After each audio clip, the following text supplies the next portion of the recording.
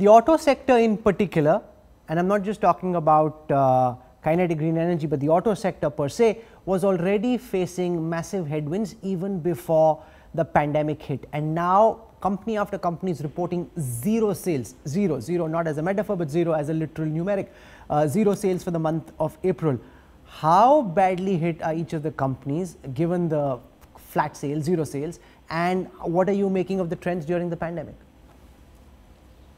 Well, I think uh, you're right that this has this is an unprecedented situation where the auto industry was already suffering from a very poor year uh, due to various macroeconomic factors and the move to BS6 and this lockdown and the virus uh, has come at a really bad time. Uh, the industry is really concerned now about the ability to get operations restarted and the ability to generate demand. I think both on both these fronts there is a great concern. Uh, when I speak about uh, restarting, you know, right now there are some relaxations that have been announced. But if you look at the uh, areas in which the auto industry operates, most of the zones are in red. So very few companies are actually able to open up. Secondly, most of our suppliers are in uh, various areas, and unless you op- open up the supply chain as well as the dealerships, uh, well, there is no point in starting manufacturing. It's like if you have to make a vehicle, you need all the parts. Uh, you can't have a car without the steering wheel. So I think that it would be quite important to work together to look at the entire sector and have a top to toe, you know, end to end solution to restarting the economy and the automotive sector in particular.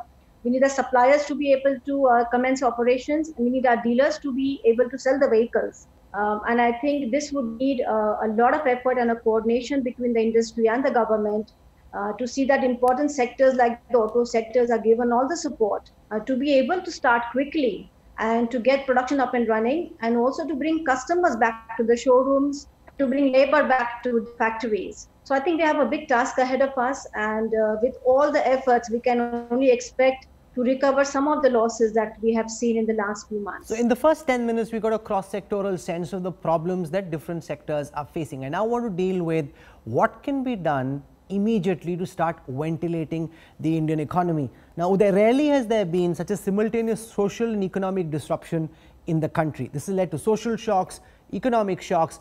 What is your idea about what can be done right away to try and ensure we can start reviving different sectors of the economy, in particular the media sector as well?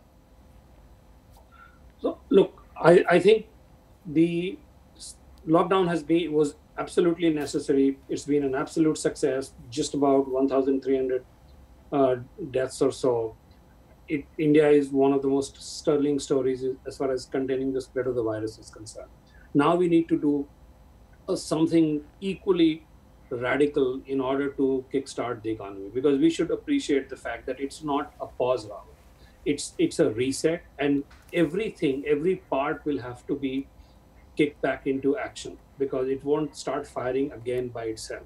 So, and unless the, in, you know, one Sulajja was talking about you to restart the whole supply chain for, for manufacturing to start happening, you know, from the suppliers all the way up to the dealers.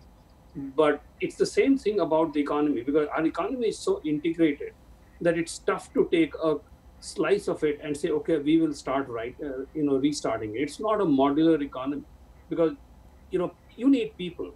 We we decided to do a lockdown. Lockdown was unilateral decision by the government, highly required and very successful.